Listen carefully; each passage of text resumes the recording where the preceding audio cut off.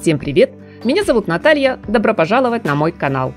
Презентация новой коллекции «Весна-лето 2024» под маркой Burberry состоялась в рамках fashion -марафона недели моды в Лондоне.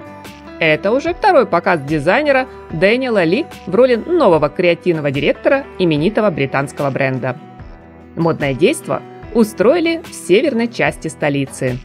В Зеленом парке установили огромный тент и длинные ряды парковых скамеек – Рядом расположился очень английский гастрономический фургон, где гостям раздавали пирожные, горячий чай, а для тепла и комфорта предлагали шерстяные пледы. На шоу царила приятная, непринужденная, уютная атмосфера.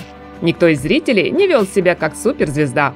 В ожидании начала шоу все сидели в хорошем настроении и подружески оживленно болтали, что довольно большая редкость на подобных мероприятиях.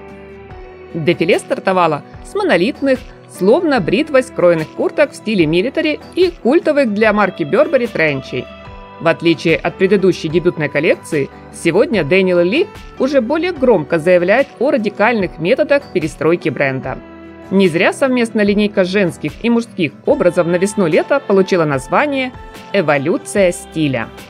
Дизайнер отошел от привычного силуэта и клетчатого принта.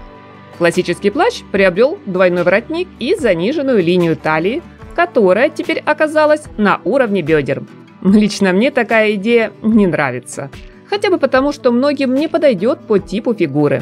Да и со спины выглядит словно баул со сползающим ремнем. Знаменитые тренчи Бербери теперь вряд ли разлетятся, как горячие пирожки.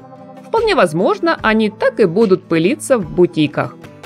Но при этом нельзя не отметить свежие модные акценты в коллекции.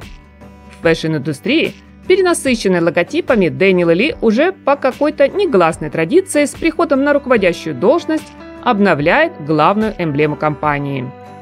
Самое уникальное здесь – символы дома моды дизайнер изобретательно внедряет в одежду и аксессуары.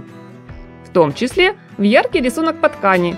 Оригинальный принт сменил характерную для британского бренда клетку и придал образом модной линейки более современную динамику и характер.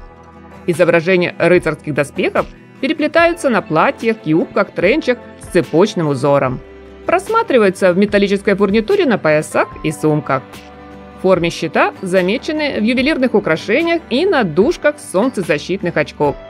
И это еще не все. При дальнейшем просмотре, друзья, вы увидите не менее стильные наряды с фруктово-ягодным принтом. А ближе к финалу подиум вспыхнул сочными красками лета – наполнив от души гардероб восхитительным ароматом роскошного букета полевых цветов. По отзывам гостей показа, фаворитом новой коллекции единогласно признана обувь. И да, Дэниел приложил немало усилий, чтобы представить на подиуме целую подборку отличных моделей на теплый сезон.